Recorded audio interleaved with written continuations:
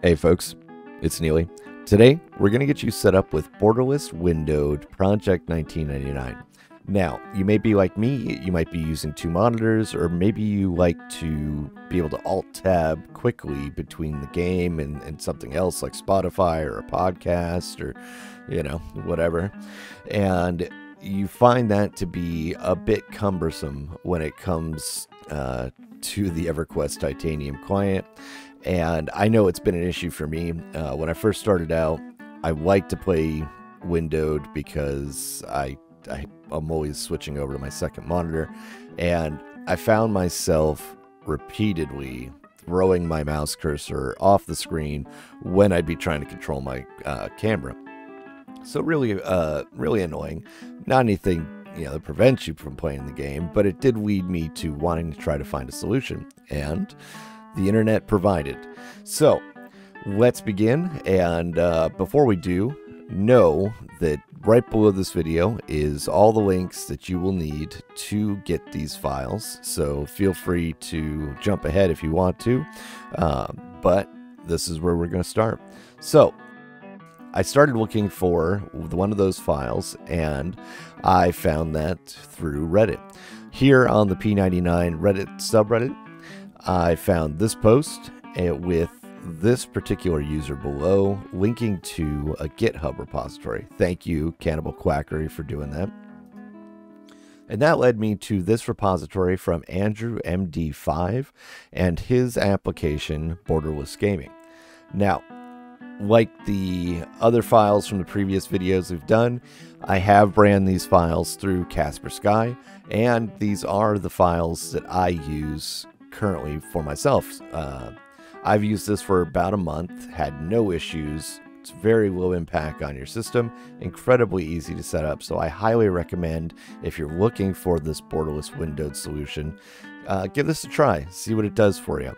Uh, I used WinEQ years ago and it came with its own weird glitches and issues.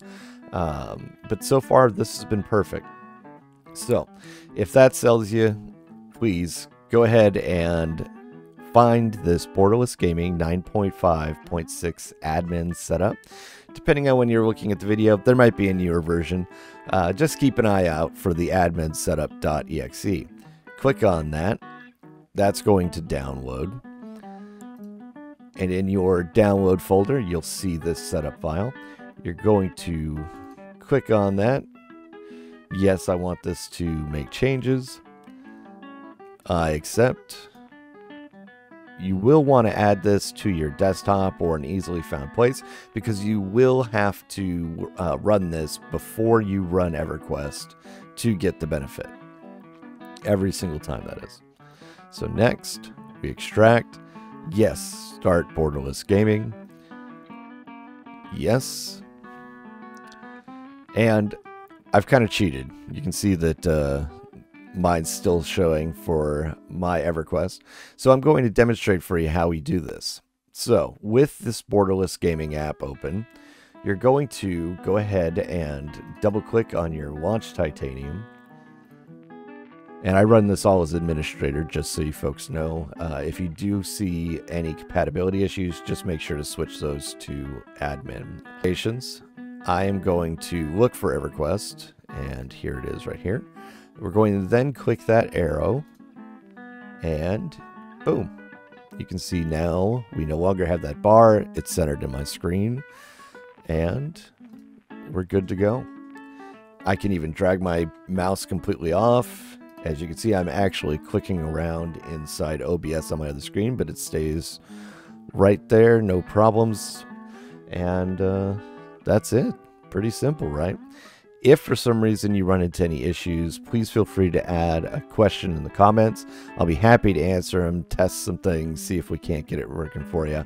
Uh, again, this is on Windows 10 with the Project 1999 EverQuest Titanium. Uh, it's been great uh, chatting with you. And if you guys have any questions or would like to request some additional videos, please feel free to do so. I look forward to uh, making them for you. Again, this is Neely. Hope you folks are having a good one.